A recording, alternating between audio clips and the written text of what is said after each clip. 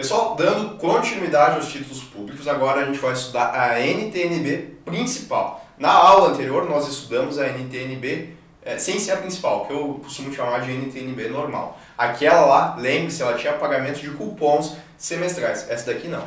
Outro detalhe, para a gente avançar nessa aula aqui, tem que ter assistido a aula em que a gente falou de LFT, porque lá eu expliquei bem detalhadamente o que, é VNA, que, que é ágio e deságio, e como é que funciona essa negociação do, do governo né, quando tem ágio e deságio. Então tem que entender aquela aula lá para a gente poder avançar aqui nos outros títulos. Comece por ela que foi a primeira que a gente falou a respeito dos títulos públicos. Daí depois vem para essas próximas aulas que fica mais fácil. Aqui às vezes eu retomo alguns conceitos, mas a ideia é não repassar tudo que a gente viu lá na primeira aula, senão é, a gente vê muita coisa repetida. Bom, vamos entender então o que é a tal da NTNB principal.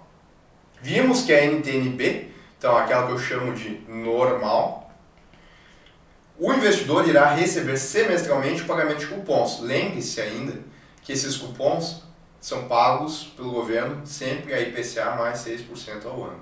Bom, contudo, há investidores que não desejam receber o pagamento de juros de forma periódica, mas apenas o vencimento.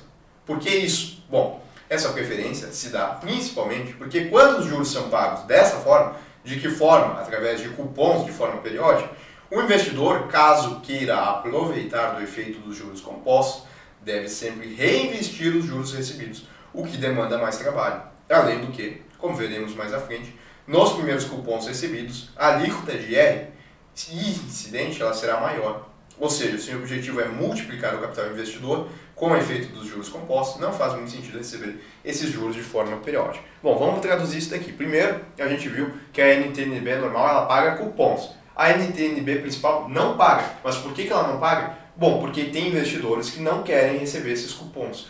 Por que, que eles não querem receber? A ideia funciona assim. A gente tem, desculpa, a gente tem um fluxo de pagamento, né? Quando a gente tem a presença de cupons que funciona da seguinte forma. O investidor, deixa eu só ajeitar isso aqui, ficou meio feio.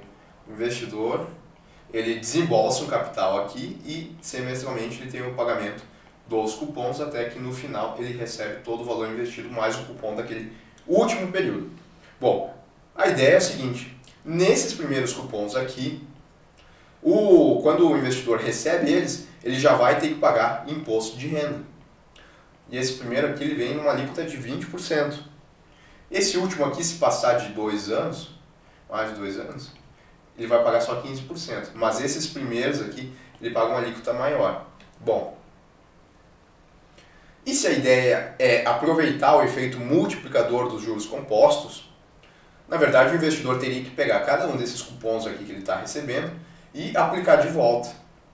E daí é pior, porque além de pagar o imposto de renda que ele está pagando aqui, ele ainda vai ser tributado depois lá no final com no mínimo 15%. Para esses títulos que estão mais próximos aqui do vencimento, a, a tributação vai ser maior ainda, né? E isso é ruim. Além do trabalho que dá de ficar reaplicando, ainda tem essa questão de que o imposto aqui no começo é, é maior. E isso diminui o lucro os juros recebidos pelo investidor. Então, como é que resolve esse problema? Bom, resolve simples.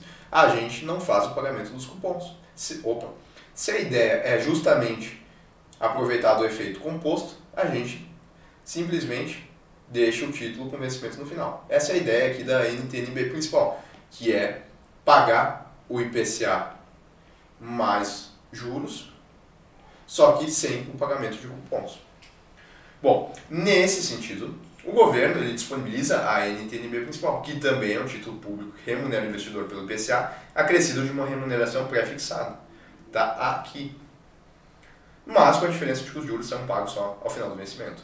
O fluxo de pagamento desse título é mais simples do que a NTNB normal, visto que há apenas uma saída de recursos e uma entrada de recursos que acontece no final de prazo de vigência. Ou seja, saída de recursos, entrada de recursos. Lá na NTNB normal, a gente tem os cupons. Aqui não tem. Bom, observe a representação, daí está aí a representação. Agora, aprofundando um pouquinho mais os conceitos. Né? O que a gente viu aqui, eu acho que é o principal que tem que se levar para a prova. É saber que a NTNB principal não tem o pagamento dos cupons. Ela corrige através da inflação mais uma taxa pré-fixada. Bom, agora aprofundando. O VNA desse título ele também foi definido em mil, na data de 15 de julho de 2000, e vem sendo atualizado pelo IPCA, tal como a NTNB normal. Então, lembre-se que quando a gente estudou a NTNB normal, a gente viu que o título foi definido em mil reais, também para essa data de 15 de julho, e também ela sofreu correção do IPCA eh, diariamente. O que eu estou falando é que se a gente pegar em determinada data, ambos os títulos vão ter o mesmo VNA. Sim, porque os dois foram corrigidos da mesma forma, partiram do mesmo valor inicial e eram eh, corrigidos também diariamente pela mesma taxa. Então os dois têm o mesmo VNA. Logo, por serem corrigidos pelo mesmo índice, o VNA da NTNB principal e da NTNB são exatamente os mesmos em determinada data. A diferença deles, nesse contexto, é que o investidor irá comprar a NTNB principal então, quando eu falo ele vai comprar, significa o preço de compra. Eu não estou falando do VNA, estou falando do preço de compra. Então, ele vai comprar a NTNB principal, que é aquela que não tem cupons, a um preço bem inferior ao do VNA do que compraria em uma NTNB normal. Mesmo que as duas fossem compradas na mesma data, com a mesma remuneração e com o mesmo vencimento. Ou seja, apesar das duas ter o mesmo VNA, porque as duas sofrem a mesma correção e foram definidas na mesma data com o mesmo valor, eu estou falando para vocês que o preço de compra de uma NTNB principal ele vai ser bem inferior ao do que de uma NTNB normal. Mas por que isso? Por que essa diferença? Vamos entender. Isso se dá porque a NTNB principal não possui cupons semestrais. Então, todos os juros que devem ser pagos no final, ou seja, no final da vigência desse título, no vencimento, coloquem aqui também, no, ven opa, no vencimento, lembre-se, ele deve pagar um montante muito maior que a NTNB normal.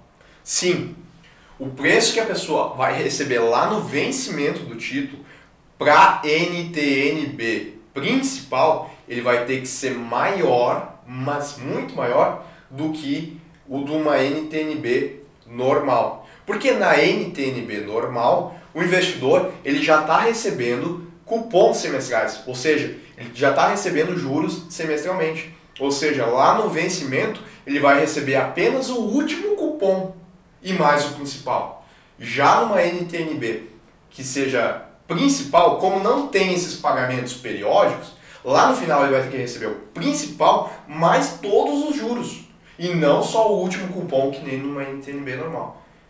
É daí que vem essa diferença no preço de compra. Porque, percebam, essa rentabilidade ela deve estar refletida como um deságio na hora de comprar o título. Claro, porque o valor que o cara vai receber lá no final é sempre o VNA. Lembre-se que a gente já viu isso quando estudou LFT. Então o VNA lá no final das duas vai ser o mesmo. O cara vai receber a mesma coisa. Se o VNA lá no vencimento ele vale 5 mil, lembre-se, o VNA é igual para as duas, porque as duas sofrem a mesma correção. Então se o VNA das duas lá é 5 mil, é isso que o investidor vai receber para NTNB. NTNB normal e para NTNB principal. É isso que ele vai receber para as duas.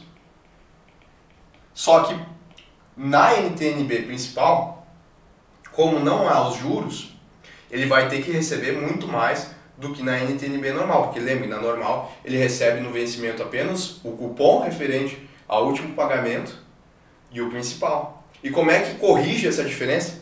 Bom, o preço aqui da NTNB principal ele vai ter que ser negociado com maior deságio com maior desconto. Então o deságio aqui é maior. E notem, quanto maior o prazo de vencimento, maior vai ter que ser a diferença entre esses dois. Se o prazo de vencimento do título é 10 anos, a diferença vai ser 1. Se o prazo de vencimento do título é 45 anos, essa diferença vai ter que ser maior entre esses dois títulos no preço de compra para refletir esses juros que o cara não está recebendo na NTNB principal. Essa é a ideia, porque lá na frente o VNA que, o, que ambos os dois vai receber é, é o mesmo. Bom, para exemplificar essa diferença, está aqui, vamos ver um caso real dos preços desses títulos em 21 de julho de 2021. Está aqui, ó. Percebam, a gente tem uma NTNB e uma NTNB principal. A rentabilidade não é tão importante, tá? Porque é, é importante porque define o deságio e tal, mas nesse caso o que eu quero mostrar para vocês é esse daqui. O VNA das duas é o mesmo, né? Para a mesma data. Lembre-se, é o que a gente já viu. Mas o preço de compra, olha a diferença. Para a NTNB é 3.265,74. Lembre que essa tem um pagamento de cupons. Enquanto que para essa outra, o preço de compra é 1.203. É quase um terço, porque essa daqui não tem o pagamento de cupons. Então tem que ter um deságio, e eu vou colocar aqui para vocês de novo, tem que ter um deságio. Não ficou muito tri, né? Tem que ter um deságio maior. Bom, é isso que vocês precisam aí saber, tá? Achei legal trazer esse último ponto aí, né, da diferença no preço de compra das duas, que é justamente pela presença dos cupons de forma periódica, que a NTNB principal não tem. Mas para prova, principalmente, leve aqueles pontos lá, que eu já falei para vocês. A gente se vê aí na próxima aula em que a gente dá continuidade aos títulos públicos.